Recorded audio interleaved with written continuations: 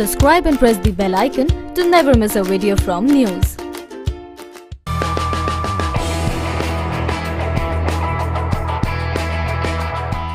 A sprawling campus, well equipped sports stadium, and up to date labs.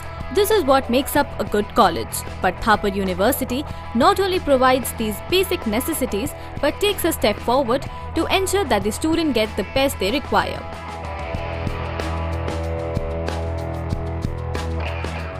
Apart from imparting classroom lectures, they provide the much needed hands on experience and practical exposure to their students.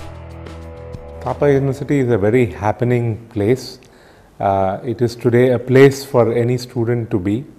Uh, we try to do the best that we can to maximize the student experience during the stay that the student has with us.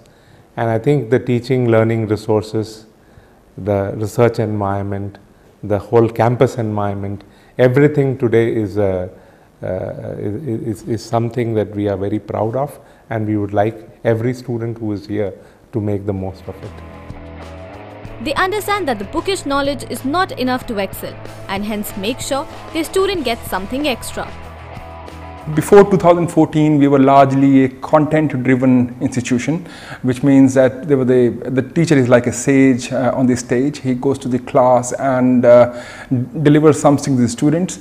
But this is a totally new uh, set of students now. They uh, they have you know internet with them they have a mobile phone and whatever you talk in the class they can google and find out immediately.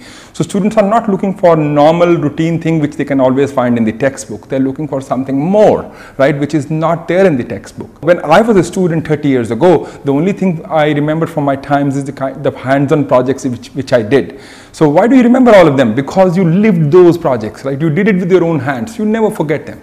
So uh, it's, it's, it's so relevant even today that if you want a long-lasting, uh, you know, education uh, to the students, uh, if then they must uh, be able to uh, do things with their own hands, and this is what they can retain for a long, long period of time. Well, it can be summarized that in order to excel, one needs hands-on experience of the things students are taught in a class. News Desk.